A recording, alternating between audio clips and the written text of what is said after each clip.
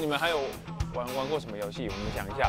派爬后爬后山，你在跟我开玩笑我吗？们今天我们已经快爬整座山了，我们还爬后山。我觉得我后悔问你们说你们平常都在干嘛，我们就玩玩鬼抓人好了。好好好，这个好，我当裁判。剪刀石头布，输的当鬼。剪刀石头布，好，你当鬼哇，就是不要被他抓到就对了。站在这里好了，这样你们不要踩到这里。开始，你要干嘛？哎哎，等一下，你为什么突然躺下来？好好好好，他一开始就锁定我，救救救救救救救我！小心我！救救！哎，等一下，我们是很多人在玩，不是只有我在玩。他对你比较有兴趣。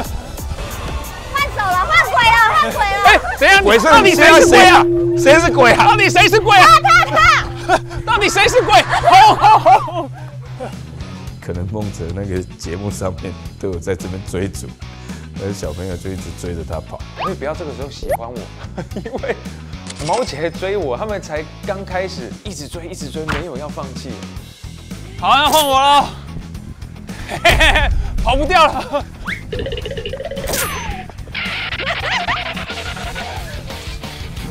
哎，你红了，赶快再救他。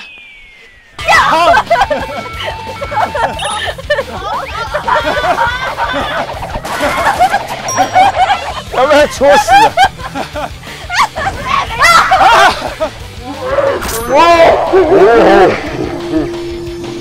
哎，第二圈谁是鬼？你呀，我。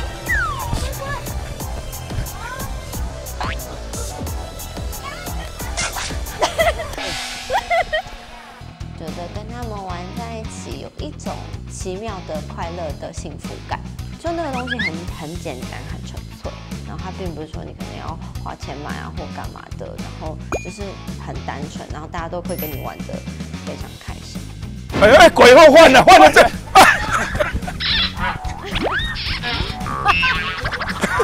又来，他到底是不是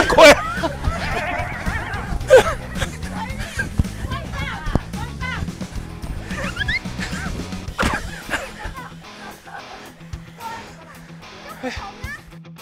哎，虽然有被他追到，但是我也躲过好几圈，就是见证自己的体力还还可以哦，没有被这个年轻人赶过去。